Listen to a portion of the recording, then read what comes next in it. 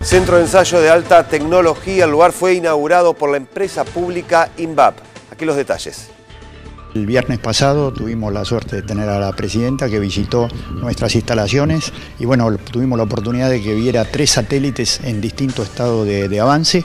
El, más, eh, digamos, el más avanzado es el satélite, el primer satélite argentino de comunicaciones, el ARSAT-1, eh, que empezaban las pruebas que simulan las condiciones a que va a estar, eh, que va a tener que experimentar en el espacio. Hay un centro que ella también inauguró, que se llama SEATSA. Ese centro va a permitir repetir, replicar las condiciones que tiene que eh, ser que va a ser sometido el satélite una vez que esté en el espacio, con lo cual uno haciendo esas pruebas en tierra se garantiza que después cuando esté en órbita el satélite funcione. Es una inversión de más de 40 millones de dólares, o sea que es una cosa importantísima.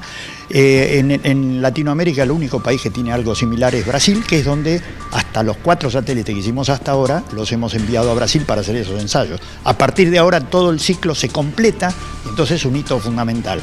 Y también se aprovechó la oportunidad de la visita donde se firmó el contrato para hacer el tercer satélite, el ARSAT 3.